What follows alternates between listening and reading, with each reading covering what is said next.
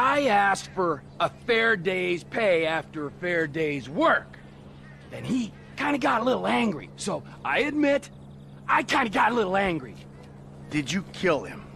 What kind of animal do you take me for? No, I didn't kill him. Oh, But I did kidnap his wife. oh no!